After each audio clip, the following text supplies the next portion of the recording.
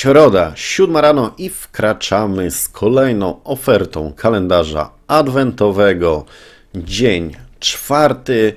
Przed nami Senlak, czyli czołg lekki premium brytyjski poziomu ósmego.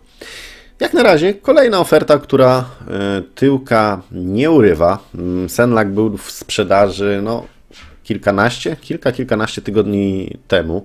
Jest to jego powrót. Nie wiem, czy tak naprawdę jeszcze w tak zwanym międzyczasie się pojawiał, bo nie śledziłem szczerze mówiąc tego. No ale na razie był Żółw, WZ-14 i Senlak. Jeżeli ktoś nie zakupił go wtedy, no to teraz może się e, zastanowić.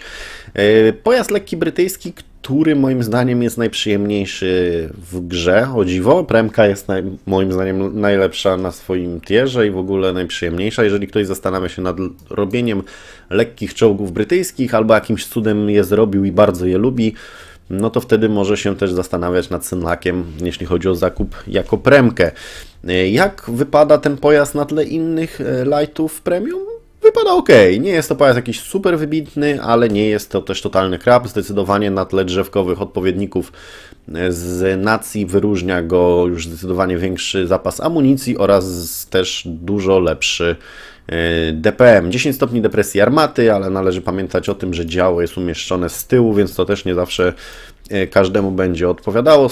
Jeśli chodzi o uszkodzenia na strzał 180, średnia pena 189 223. Celność 0,38 e, to tutaj jest tak sobie. Z tego co pamiętam, on miał penetrację e, na burzakach całkiem przyjemną. Tak jest, macie tutaj 90 mm penetracji.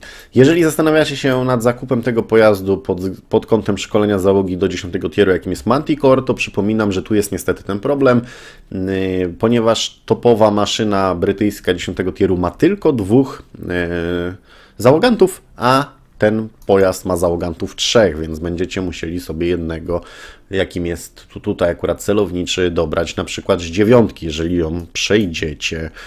Mm, jeśli chodzi o czołgi lekkie, ja zdecydowanie wolę jednak e, niemieckiego Bulldoga czy radzieckiego LT432. Ale ten nie jest też jakimś pojazdem, który budziłby we mnie nie wiadomo jak skrajne emocje. Nie jest to maszyna wybitna, ale oczywiście jak zawsze w wocie znajdą się ludzie, którzy będą bardzo go wychwalali, jak i ludzie, którzy będą bardzo ten czołg krytykowali, więc jak dla mnie jest on po prostu przeciętny. E, oczywiście jak zawsze decyzje co do zakupu e, pozostawiam Wam, to są Wasze pieniądze.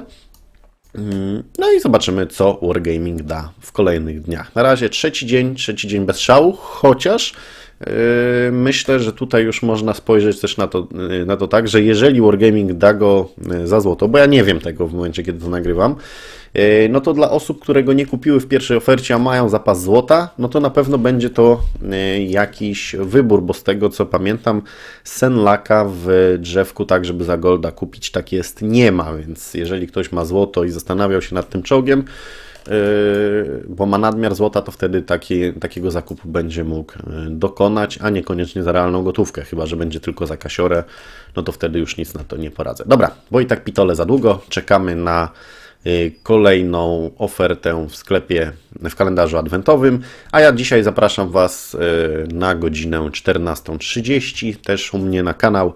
Wtedy opublikuję drugi materiał z World of Tanks dzisiejszego dnia. Miłej środy wszystkim, trzymajcie się, cześć.